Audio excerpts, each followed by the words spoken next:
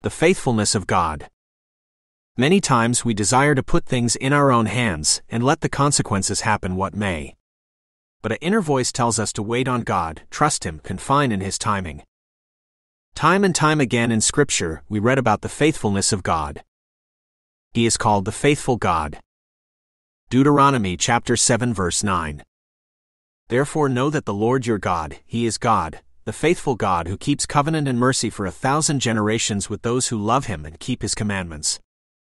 His attribute is faithfulness. Isaiah chapter 49 verse 7. Thus says the Lord, the Redeemer of Israel, their Holy One, to him whom man despises, to him whom the nation abhors, to the servant of rulers. Kings shall see and arise, princes also shall worship, because of the Lord who is faithful, the Holy One of Israel, and he has chosen you. Hosea chapter 11 verse 12. Even with the Holy One who is faithful. He is a faithful witness which we can trust when he states something to us. But as I said, when he states something, at times our carnality could pretend to be a voice of God, and even make fake promises which God never promised to us. Jeremiah chapter 42 verse 5. So they said to Jeremiah, Let the Lord be a true and faithful witness between us. Revelation chapter 1 verse 5. And from Jesus Christ, the faithful witness. One thing which separates God from all the other gods in this pagan world is that God cannot lie. Titus chapter 1 verse 2. In hope of eternal life which God, who cannot lie. In this pagan world the false gods are known to be liars in matter of fact in Islam, the god of the Koran is known as a deceiver and the best of it. Pickthall, Surah 354 And they, the disbelievers, schemed, and Allah schemed against them, and Allah is the best of schemers. When it comes to the Bible, God doesn't deceive anyone, but men deceive in many respect deceive her or himself. When he or she goes against the will of God or expects things from God he did not promised. Jeremiah chapter 37 verse 9. Thus says the Lord, Do not deceive yourselves, saying, The Chaldeans will surely depart from us, for they will not depart. Yes, God can send a lying spirit, but it is only as judgment when a person is not accepting or is rebelling against the truth.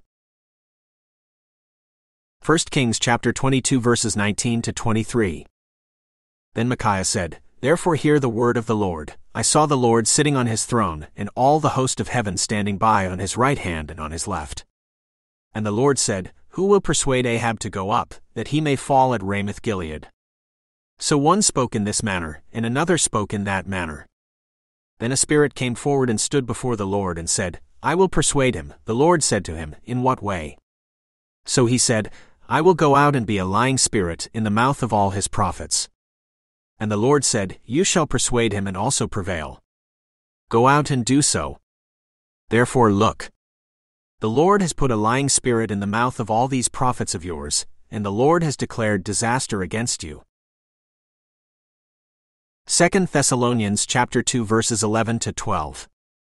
And for this reason God will send them strong delusion, that they should believe the lie, that they all may be condemned who did not believe the truth but had pleasure in unrighteousness.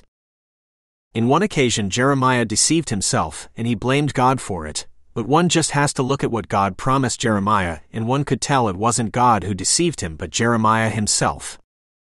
Telling himself things was to be easy as a prophet of God when God told him the opposite.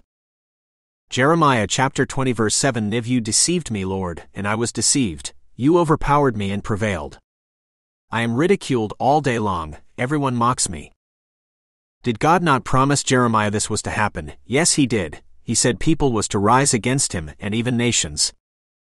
Jeremiah chapter 1 verses 18 to 19 NKJV For behold, I have made you this day a fortified city and an iron pillar and bronze walls against the whole land, against the kings of Judah, against its princes, against its priests, and against the people of the land.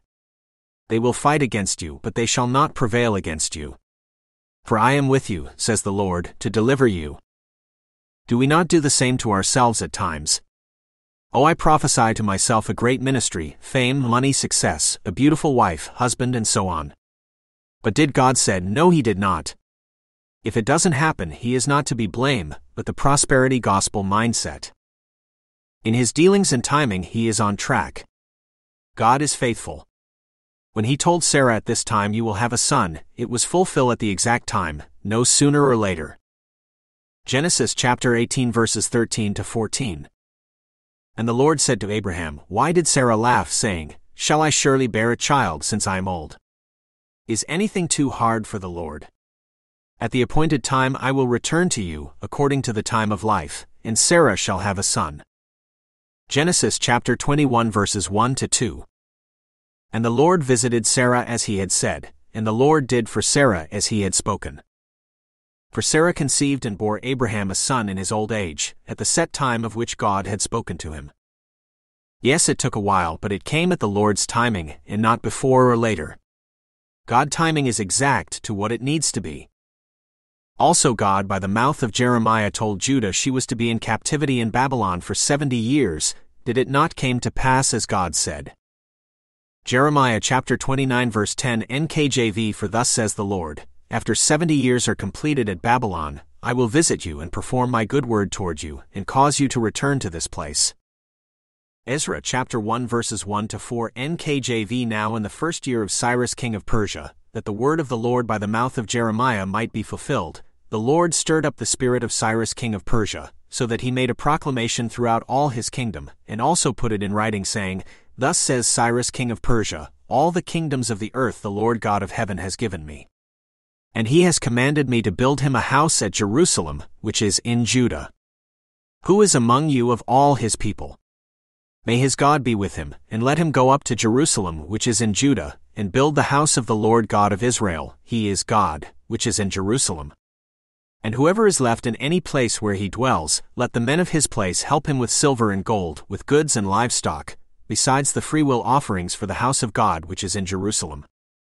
God is faithful in all his dealings, and he only does what is right. When God gave a dream to Joseph that his brothers was to bow down to him, did it not happen as it was dreamed about? Genesis chapter 37 verses 5 to 10. Now Joseph had a dream, and he told it to his brothers, and they hated him even more. So he said to them, Please hear this dream which I have dreamed. There we were binding sheaves in the field. Then behold, my sheaf arose and also stood upright, and indeed your sheaves stood all around and bowed down to my sheaf.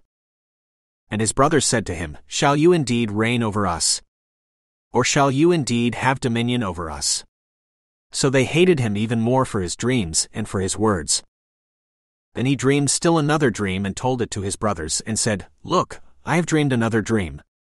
And this time the sun, the moon, and the eleven stars bowed down to me. So he told it to his father and his brothers, and his father rebuked him and said to him, What is this dream that you have dreamed? Shall your mother and I and your brothers indeed come to bow down to the earth before you?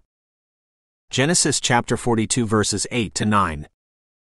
So Joseph recognized his brothers, but they did not recognize him. Then Joseph remembered the dreams which he had dreamed about them, and said to them, God is faithful and true to what he promises us. Yes, at times we have to wait, and it may not at time look as we want things to be. But we have great promises of his faithfulness in the scripture that if we love him, all things would work for our good in the end. Romans chapter 8 verse 28. And we know that all things work together for good to those who love God, to those who are the called according to his purpose. Even in the bad things people do to us, God is working it out for our good. Genesis chapter 50 verse 20. But as for you, you meant evil against me, but God meant it for good, in order to bring it about as it is this day, to save many people alive. There's an old saying that goes, trust the process. Yes, faith, trust is what we need, for we are called to walk by it. 2 Corinthians chapter 5 verse 7. For we walk by faith, not by sight.